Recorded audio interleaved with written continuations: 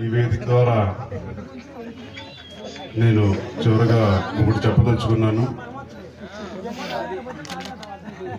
నన్ను ఏదో చేద్దామని చెప్పని అనుకునే వాళ్ళకి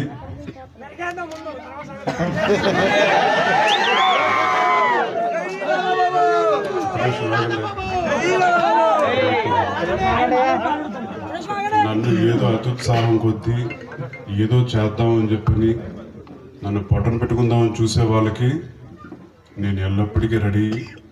రంగయ్య గారి అబ్బాయి కింద జనంలోనే ఉంటాను. ఎక్కడికి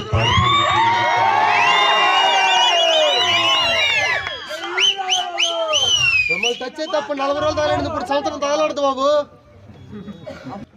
వాళ్ళందరికీ వాళ్ళందరికీ మీ ద్వారా చెప్తా ఉన్నాను.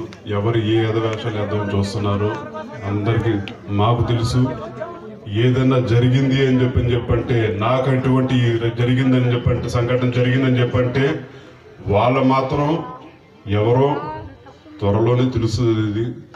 మీరందరూ మాత్రం అలాంటి వ్యక్తిని మాత్రం దయచేసి ఎల్లప్పటికీ దూరం పెట్టమని చెప్పని మిమ్మల్ని అందరినీ కోరుకుంటూ నాకు నాకు ఈ చిన్నగున్నూరు గ్రామం ఇక నాకు ఆహ్వానించి రంగా గారి అభిమానులు ఇక్కడ చాలా ఎక్కువగా ఉన్నారు. తప్పకుండా రావాలి అని చెప్పని ఆహ్వానించారు.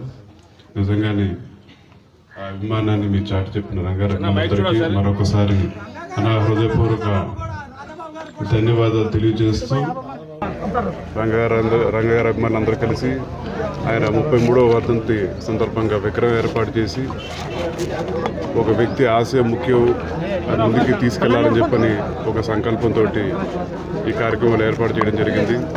తప్పకుండా ఏ పార్టీలో ఉన్నా సరే రంగగారి అభిమానులందరూ ఆయన ఆశయ సాధన కోసం కృషి చేస్తారని కూడా మనస్ఫూర్తిగా కోరుకుంటా ఉన్నాను. వస్తుంది. కంగారు ఎందుకు? నేను చెప్పింది నిజమో కాదు అనేది త్వరలో బయటకు వస్తుంది. నా మీద ఎవడు రిక్కీ చేశాడని చెప్పినది కూడా త్వరలో బయటకు వస్తుంది. టీడీపీ పార్టీలో